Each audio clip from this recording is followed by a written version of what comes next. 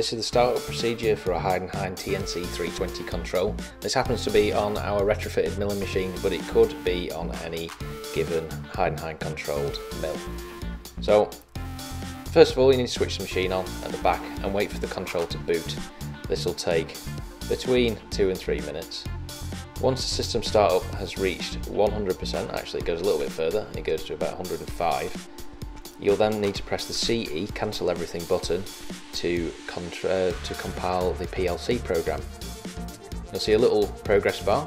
Once that's loaded, it's time to give power to the control. So hit the power button and then adjust the spindle and feed overrides to 100% because we're going to jog the axes next. And to do that, you're going to hit the green button and you'll need to do that three times for each of the three axes. So adjust the Z, then the Y, and then finally the X.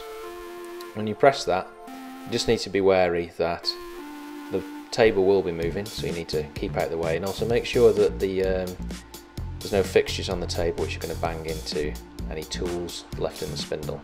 Next, we'll need to use the rapid um, jog buttons to move the table back into position. So to do that, press the middle rapid button and also the relevant direction, and that will move the axes directly back into a, a position where we can uh, put in a tool.